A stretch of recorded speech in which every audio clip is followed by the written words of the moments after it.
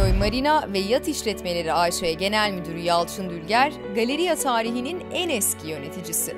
Dülger, ITM Life'a o günleri adeta yeniden yaşarcasına anlattı. Evet, sene 1987 ve bizim e, hava fotoğrafımız içerisindeki bulunduğumuz binayı gösteriyor. Burada diğer hiçbir tesisimiz yok. Galeriya, otel, marina. Biz böylece baş, başladık. Şu anda da içinde bulunduğumuz bina da bu gösterdiğim, gösterdiğim bina.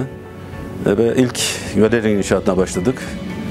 E, 2 Ekim 1988 tarihinde galeriyanın açılışını yaptık.